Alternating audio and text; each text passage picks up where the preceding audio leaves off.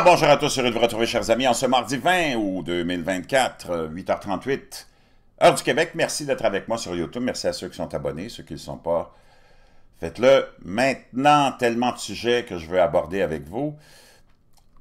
Et plutôt un, on va se concentrer sur un, mais je vais vous rappeler que je vais vous revenir aujourd'hui sur la fameuse convention du Parti démocrate à Chicago, où euh, les émeutiers, euh, je peux dire une chose, ont gâché la première journée de cette super convention du couronnement de Kamala, Kamala, Kamala, Kamala Harris, où on essaye avec les médias, l'aide des médias, c'est complètement hallucinant de créer une espèce de euh, Kamala Mania, mais il n'y en a pas. Elle est d'un ennui mortel. C'est l'agneau envoyé au sacrifice sur, à l'hôtel du sacrifice parce qu'on sait que Donald Trump va être élu haut la main, que tu l'aimes ou pas, c'est pas vraiment important. Kamala Harris, celle qui dit qu'elle va régler tous les problèmes, ben c'est celle qui est encore au pouvoir puis qui règle rien. Donc les Américains ne sont pas stupides. Donc ça, je vais y revenir là-dessus. Hier, juste pour vous donner une idée, il y avait des kiosques de vasectomie gratuite et d'avortement gratuit offerts sur le site de cette convention démocrate. Des WACO aux États-Unis, parmi les démocrates, il y en a. C'est peut-être même juste ça maintenant. Tous les Américains normaux qui se retrouvaient à l'époque dans un parti démocrate qui était patriote, qui était pour la défense de la classe moyenne, de n'importe quelle couleur, la défense des frontières, de la rationalité, ça n'existe plus, ça. Et c'est vraiment, la politique a complètement changé. Donc ça, je vais y revenir là-dessus. Mais là, je veux porter votre attention.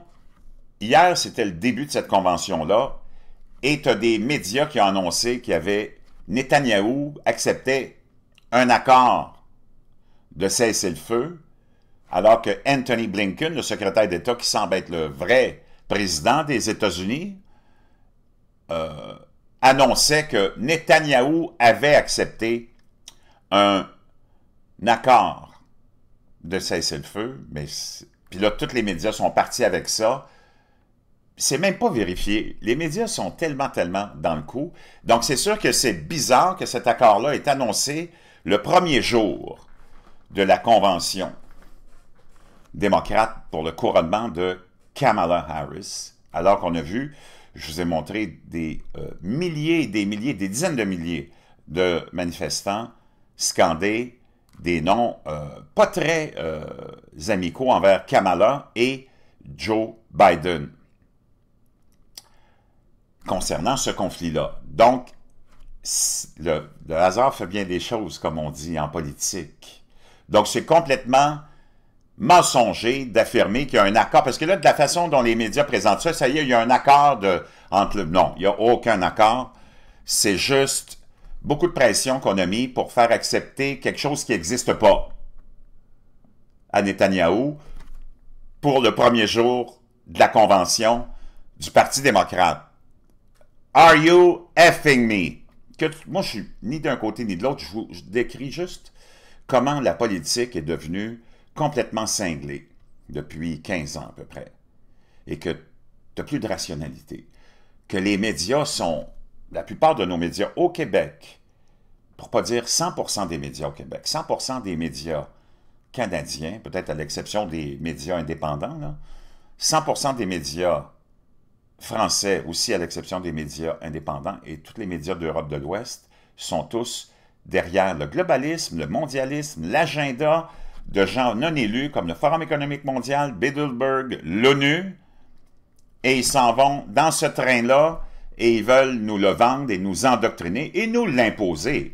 Et là, on s'en vient avec la censure, comme je vous ai montré hier, euh, avec ce qui se passe en Angleterre et ces nouvelles lois qu'on va mettre en place pour criminaliser des commentaires, pour criminaliser des idéologies, c'est complètement hallucinant.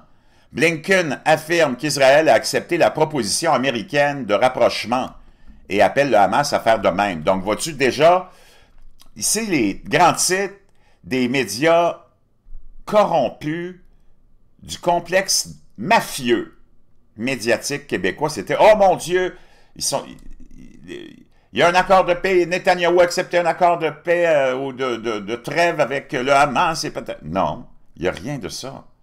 Blinken, CBS News, tu sais, c'est quand même... Euh, ça, c'est dans le complexe des mafias, de la mafia médiatique. Blinken affirme qu'Israël a accepté la proposition américaine de rapprochement, de rapprochement et appelle le Hamas à faire de même. Blinken estime que les pourparlers, selon Al Jazeera, de cesser le feu sont peut-être la dernière chance de libérer les prisonniers de Gaza. Donc, il n'y a aucun accord. Je ne sais pas quelle est cette tendance à raconter n'importe quoi chez nos médias. Israël accepte une proposition de transition.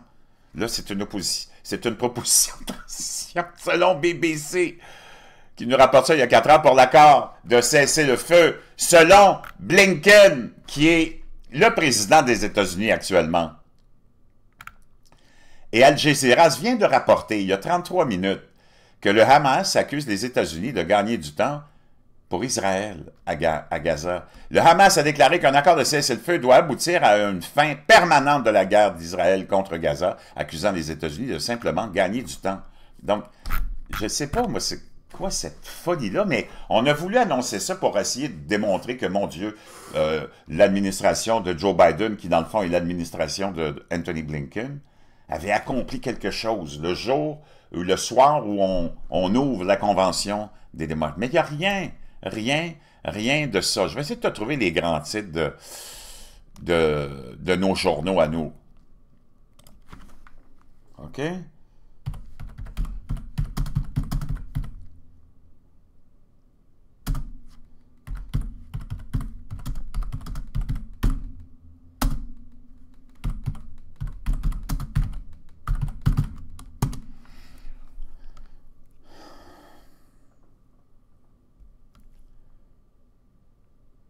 Le cessez-le-feu tient bon. Radio-Canada 2023, donc non, c'est il y a 10 heures. Optimisme américain en vue d'un accord au Proche-Orient, mais il n'y en a pas.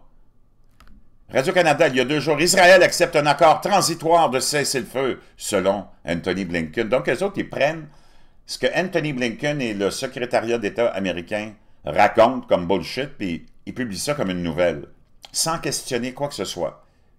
Israël accepte un accord transitoire de cesser le feu et patati patata patata. Donc, c'est du n'importe quoi. Blinken salue l'acceptation par Netanyahou d'un accord de trêve à Gaza qui n'existe pas. Rapporté par Zero Hedge.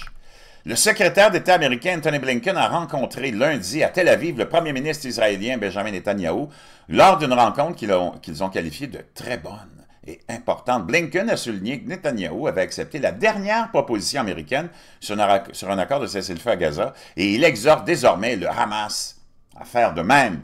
Au terme de la réunion, M. Netanyahu a déclaré qu'il appréciait la compréhension dont les États-Unis ont fait preuve à l'égard de nos intérêts vitaux en matière de sécurité dans le cadre de nos efforts conjoints pour obtenir la libération de nos otages. Je tiens à souligner les efforts visant à libérer le plus grand nombre possible d'otages vivants dans la première étape de l'accord, a déclaré Netanyahou, Blinken a déclaré lors d'une conférence de presse qu'il était dans la région pour franchir, ou pour faire franchir, à cet accord de feu, la ligne d'arrivée. Il avait auparavant averti que cela pourrait être la dernière chance de parvenir à un accord. Mais la réalité est qu'il s'agit de la neuvième visite de Blinken en Israël depuis le début de la guerre après l'attaque terroriste du Hamas du 7 octobre, et chaque voyage a été rempli de déclarations exprimant un engagement à toute épreuve des États-Unis envers la sécurité d'Israël et de déclarations simultanées selon lesquelles une trêve était sur la ligne de but. Et pourtant, le même jeu de reproches s'ensuit toujours rapidement après de telles déclarations creuses sur la question de savoir à qui revient la responsabilité d'avoir finalement fait échouer un accord soi-disant si proche de la ligne de but, même si en réalité, il ne semble pas du tout qu'un accord viable soit sur la table. Il n'y a rien sur la table. Tout cela rend difficile d'évaluer dans quelle mesure la visite de Blinken n'est qu'un autre exercice vide de sens des relations publiques de l'administration Biden. Le blog d'analyse géopolitique Moon of Alabama souligne ce qui suit. Axios affirme que Hamas rejette un accord de cessez-le-feu avec Israël. Le Hamas rejette la nouvelle proposition américaine concernant les otages de Gaza et un accord de cessez-le-feu. Le Hamas a rejeté dimanche une proposition américaine actualisée pour un cessez-le-feu et fait un accord sur les otages à Gaza, accusant le premier ministre israélien, Netanyahou, d'avoir déplacé les règles et les États-Unis de lui avoir fait grâce. Sept paragraphes plus tard, nous apprenons zoom avant, plus précisément, le Hamas s'oppose au fait que la proposition n'inclut pas un cessez-le-feu permanent ou un retrait israélien complet de la bande de Gaza. Et Moon of Alabama conclut il n'y a pas d'accord de cessez-le-feu et se demande comment alors le Hamas pourrait-il rejeter un accord de cessez-le-feu s'il n'existe pas? Et en fait, cela, c'est de cela qu'il s'agit en réalité, projeter des images vers les électeurs démocrates qui peuvent encore une fois essayer de présenter ce voyage insignifiant comme une victoire pour Biden-Harris avant novembre. C'est juste de la politique. Il ne faut pas que tu oublies que le secrétaire d'État, c'est un poste politique. OK? Et les propres mots de Blinken reflètent quelque chose qui n'apparaît que sous une forme abstraite et éphémère et qui n'est pas encore réellement accepté ou considéré comme une option concrète. Il y a un profond sentiment d'urgence à ce que cela soit fait. Donc, c'est juste du n'importe quoi, comme tout le reste, dans cette histoire-là. Je vous remercie.